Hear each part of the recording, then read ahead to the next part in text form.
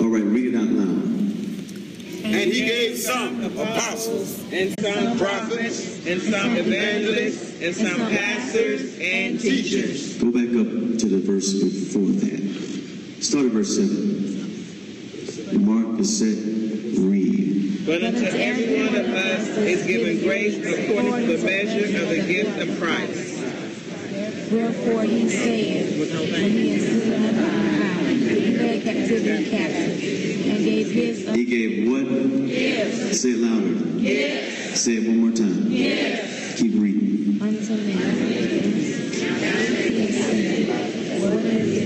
He also leases verse to the lower part of the earth, even the swimming Just read. Yeah. ascended up far above all heavens, that he might fill all things. Jump to verse 11. Mark is set, read. And he gave some apostles and some prophets So what is the prophetic according to verse 7? It's a gift. It says a gift. And jump over to 1 Corinthians 12.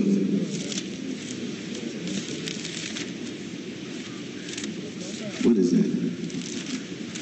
Oh, you're okay. Don't get nervous. Just cut it off quick. Verse is a what? gifts, Gifts. Now you see gifts in, in 1 Corinthians 12. You see gifts in um, Ephesians. And they say two different things. Two different things. Now, what happens in the prophetic is we we get stuck at the charisma gift and we never learn functionality, the operations, and the protocol of the Doma gift. What's the difference? Ask me what's the difference? What's the difference? The charisma gift comes as the Spirit wills. Mm. All right?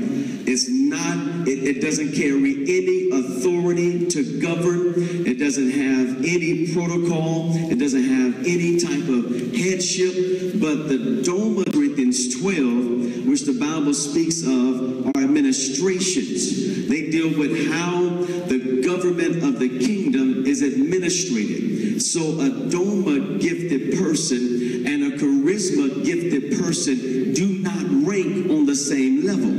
Are you hearing this? See, your gift is not your grade. Your gift is not your level. Now, y'all know there are different levels in God. So there are different levels in the prophetic. Second Corinthians 3, we go from what? But that glory will one day diminish. Are you hearing this? Because glory diminishes and glory excelleth. So there's a glory of the prophetic that's needed in the earth today. And if we stay in the charisma gift and we don't enter into, into the doma gift, that's when the prophetic becomes irrelevant.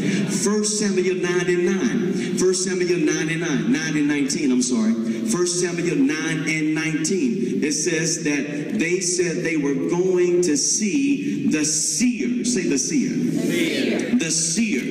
Now, why is that important? Because they're in a culture where the prophetic is now being diminished to just a seeing gift. Are you hearing this? And, and the Bible says at those times, prophets were not known as prophets, they were known as seers. Why? Because somewhere between Moses and Samuel, there was a lack of understanding in the prophetic, and the glory of Moses had diminished, and the glory of Samuel had to come on the scene to reinstitute the office of the prophet. Are y'all hearing this? Now, it's like I'm almost preaching, man. Just slow down, don't it?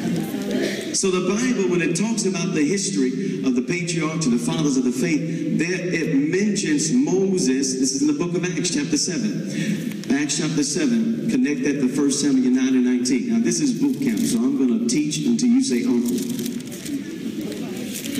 I'm going to teach until you pop. So when you start feeling confused, that's good.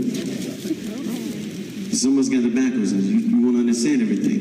You're going to understand it here, and then it's going to register here later.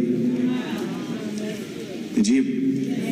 Okay, so for, in, in Acts 7, um, it, when it deals with the prophetic office, it skips the prophetess Deborah, it skips all the prophets in between Moses and Samuel, and it only deals with Moses and Samuel. Because in 1 Samuel 9 and 19, what happened in the culture of Israel, they reduced the prophetic to one dimension of the prophetic. Are you here? Third, one, it's prophet Nabi. That's one Hebrew word. Prophet, nataf. That's another Hebrew word. Prophet, chose. That's another Hebrew word. Now, chose is the seer. I just gave you three Hebrew words. Chose is the seer. Nabi is the officer. Nataf is the custodian of the supernatural. Are you hearing? He's going to put his super on your natural. I said, no, you said it right. Yeah, What do you mean by that? That means God is going to take the thing you've been carrying in the spirit and put some natural around it. Don't miss that right there. In the beginning was the Word. The Word was with God. The Word was God. And the Word was made flesh. Jesus said, John chapter 6, Are not my words spirit? So the, the Word exists in spirit form, and then God takes flesh, wraps it around the Word, and then the Word starts living in your house. Y'all hearing this? So they, they are custodians of the supernatural. So the, the, God takes his super and put it on your natural. The prophet takes your super and then put natural around it. It brings something that's lodged in the spirit and it makes it manifest into your world. That's the Nataf prophet. And then you have the Nabi prophet. It, it, deals, most people, when they talk about Nabi, they, they, they mention the definition um, bubble up. That's what it means, to bubble forth. But they rarely mention that it also means that they're officer. The Nabi is the official officer of God. So going back to 1 Samuel 9 and 19, they reduce the prophetic to one third of its function. The seer. So Samuel is raised up, and the Bible says in 1 Samuel chapter 2 God establishes him as a prophet. In other words, he reinstitutes the office of the prophet. Are you hearing this? And the first thing that you see God attract to that Doma gift, that Doma office, is a prophetic sound. It says in 1 Samuel chapter 10, it says a company of prophets met Samuel. Is, all these prophetic people, because you don't just have prophets, you don't just have the Doma gift of prophecy, that's the officer, that's the custodian of the supernatural, that's the seer.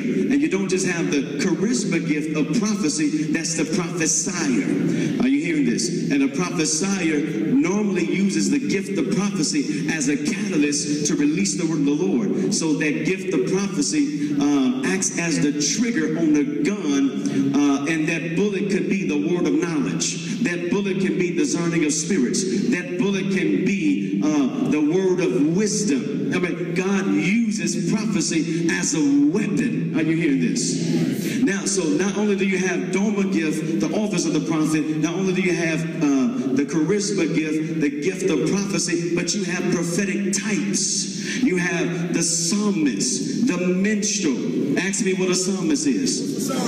Are you popping yet? Almost. Almost good. Ask me what a psalmist is. A psalmist is a singer who sings under prophetic anointing. The difference between a singer and a psalmist is a singer sings to be heard. A psalmist sings what they hear. Are you hearing this? A psalmist don't care if you don't like the song. A psalmist don't care if you sit on them and praise and worship. They're singing a minstrel and a musician. A minstrel plays to be heard, and a uh, no, a musician plays to be heard, and a minstrel plays what they hear. Are you this? There are sounds because whenever God raises up a prophet Brian Carn, he releases a sound to accompany the movement. That's why you see Samuel had to be established as a prophet to reinstitute the Doma, to reinstitute the government, to I need, I need to slow down. Hold on. That foundation, the sound couldn't come. He was met by a company of prophets that had harps and timbrels and and and uh, they had all kinds of instruments because the, the, the prophetic is wrapped in a sound. And that's why some of y'all haven't heard God the way you want to hear him because you're listening for a voice and sound. If you get in the sound, the voice will follow. Adam heard the sound of God's voice walking in the garden. He, he, he couldn't detect the voice, but the sound led him to the place where the voice was. Amen. That can interpret. Daniel dreamer. He was an interpreter. Uh, just so many prophetic foundation necessary so that the multiple prophetic anointings can come under its schooling where you and this is where you get to the school of the prophets because a prophet is not someone that's just blabbing a bunch of mysteries matter of fact a prophet has to learn how to be more quiet than they are vocal are you hearing this so if see the prophetic is a technology. If i give you an iphone and all you do is talk on it then you need to throw away your iphone and buy you a flip phone. Because the technology of the iphone does more than allow you to hear a voice. The prophetic picks up movements in the spirit. The prophetic releases Amen. divine sounds so that god can move around in the sound. The prophetic establishes god's authority. The prophetic brings systems into alignment back with the kingdom of god. The prophetic allows a prophet to go to a president and speak on live tv and daystar and then white house security is knocking at their door the next day. That's what the prophetic is for. It's not just a vocal gift. It's a doma gift. It's packaged with power and technologies and weapons and resources and go-tos and so that's what happens when we come to the prophetic. We're waiting on the prophecy, and just by getting in the atmosphere, just if you if you if you watch him on TV, That's right. begins to be released.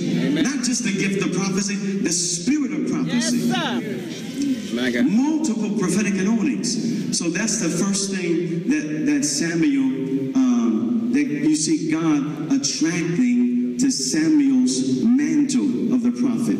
Now just use another word. Say mantle. Your mantle is your spiritual dress code. Mm. And half the church needs a fashion makeover. My God. It's your spiritual dress code. It's how you look in the spirit. Put on the armor of the Lord. Amen. The full armor. Now, why do you put on the armor? Because God puts on the armor. It's not your armor, it's his armor. He said, I'm giving you my helmet called salvation. I'm giving you my breastplate. I'm giving you my shield called faith. I'm, I'm girding your loins. I'm, I'm giving you, I'm giving you my armor. Put on the Lord Jesus Christ. Put on the robe of righteousness. Put on the garments of praise for the spirit of heaviness. That's the mantle. The mantle is what the prophet wears, not in the natural, but in the spirit. Are you hearing this? So that when he shows up in the spirit, he doesn't look like him, he looks like Jesus. So demons have to obey the mantle as if they would obey Jesus. It establishes his authority. That's it. That's it. Are you with me? So they reduce the prophetic to one third of its function. He said, let's go to a seer. So God raises up Samuel to reestablish order in the prophetic and government in the prophetic so that the full expression of the prophetic could be released. Then he established the school of the prophets. That's where you see the prophetic types. So where are you classified in God's prophetic world? You have to know that. Are you a Doma prophet? Are you a gifted person in the prophetic? Because everybody can prophesy. Prophet Carn mentioned that last night. Everybody can prophesy. That's first we're going to learn how to prophesy. Matter of fact, Hebrews 5, it says you can exercise your, your spiritual senses. How? By reason of use. That phrase right there, it literally means by practice. That word usage, it means practice in the original language. So you can practice the prophetic. You can, um, two or three witnesses, let what? Every word be established. Now, how do you practice? You don't practice by just going conjuring words up. The best way to stir up that gift inside of you, I'm gonna get to that in just a minute, after I deal with where you are in your classification. But the best way, let me just say this right now, but the best way to stir up that gifting is to get around a Doma prophet. See, you coming here is like the prophets of Israel going to Obadiah. Prophet Carn is your Obadiah. See, y'all can't, y'all, you can't respond to that because you don't know what Obadiah is. Your neighbor, who is Obadiah? Do you know who Obadiah is? No. Obadiah was the man, I would like to say he's a prophet. He was a prophet because he was a servant. Now, while I'm talking to you, the Holy Spirit is bringing things to my remembrance. He was a prophet.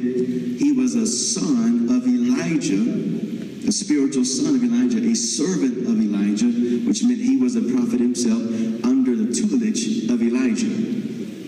All right? That hid the prophets of Israel when Jezebel was out to kill them. You got to understand the enemy is out to kill your anointing. And but he's not your greatest enemy. Your greatest enemy is not the enemy. Mm. But the devil's not even God's enemy. He's not big enough to be God's enemy. He's our enemy because we were his replacement. But even though he's our enemy, he's not our biggest enemy. Second Corinthians 2, it says, We are not ignorant of Satan's devices, lest he get the advantage over us. What is it saying? He can only take advantage over you, not reference to the scripture. It is not of God. Every prophecy has already been prophesied. That's deep right there. Every prophecy has already been prophesied. That's Acts chapter 3. It says, How God spake by the mouth of all of his holy prophets. All of them prophesied the same thing. Now, that's, I, need to pull out of that. That's real deep for some people. All right, let me go next. So it's the foundation. Then you have the spirit of prophecy. I was going to go there earlier. That's First Samuel. I think it's chapter 19, when the Bible said um, Saul came around the company of the prophets and he began to prophesy. Why did he do that? The Bible says the Spirit of God came over him at a well. It's hard for me to do this because every time I talk like this, I start getting revelation. That's so powerful. It said the Spirit of God came over him at a well. Now he was at a well outside of the city where Samuel was on his way to see Samuel. And on his way to see Samuel, he stopped at a well, and the spirit of prophecy came on him at a well.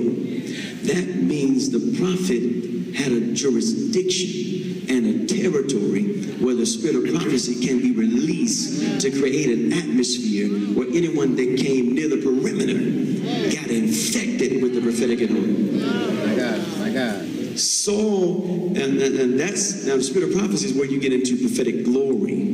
That's the revelation, that's all that kind of stuff. When he was talking about uh, the glory matures everything that's in you. Uh, let me show you how. When Saul got around the company of the prophets and the spirit of prophecy came on him, what did he do? Prophesy. He started prophesying, but how did he prophesy? He stripped naked. The beast inside of him came out. The prophetic brought the worst out of him. Mm. Wow. Are y'all hearing this? The prophetic will bring the best or the worst out of you. Are you hearing this? That's why some people prophesy they just get mean. They just some people prophesy they just get rude. They just I mean, it's bringing the worst out of them. Because the glory will mature what's there. Wow. I'm gonna move up there. That's the spirit of prophecy. All right? But the, pro- the, the prophet was so powerful that the spirit of prophecy infected the whole city. You can even breathe and not become prophetic. If you breathe, it was contagious. If you didn't want to be prophetic, don't breathe. If you breathe, it's too late. The prophetic was airborne. It was hovering in the atmosphere wherever Saul, wherever Samuel went. And anybody that came around it got infected with prophetic power. Someone say, I'm infected with prophetic power. Say it again, I'm, I'm infected with prophetic power. So, the spirit of prophecy, there are four main spheres, okay? Now, out of the four spheres, each sphere is multidimensional. Which brings me back to where I am. So I can prophesy under a gift of prophecy. I can prophesy as a prophet. That's a big difference. And I can prophesy under spirit of prophecy because it's overlapping. And the more, you know, I'm not going to really get into all that today, but let's just start at prophecy. All can prophesy. All right? So prophecy can take place even if you don't have the gift of prophecy because you come under a spirit of prophecy. Even though the spirit of prophecy and the gift of prophecy is two different spheres, they can cross each other. Are you hearing this? And then I can prophesy without being a prophet, without having the gift of prophecy, just under a spirit of prophecy. There's one way I can prophesy on that basic level. Another way I can prophesy just by hearing God. Because hearing God and prophesying is two different things. Now, for office prophet, they hear the voice of God. That's their office, that's their authority, that's their relationship. But for a budding prophet or someone learning in the prophetic, just because you got a word don't mean God spoke to you. Prophecy as charisma or as a gift, I can't make a dryer act like a dishwasher. Like into the gifts of the Spirit to the appliances, it's the energy. That's too deep. I think I'm going to camp off right here. Y'all just have to come to another city. But you're built to function like this. Stand up. Are they standing up now or should they sit down? Stand it up now. You're, you're, you're in that gift or you're in that all can prophesy realm. So we're good. You're not missing nothing. Just because I'm stopping, you're not missing anything. Okay? Into that office. So you need adequate training and schooling. So you, you've been infected with prophetic power.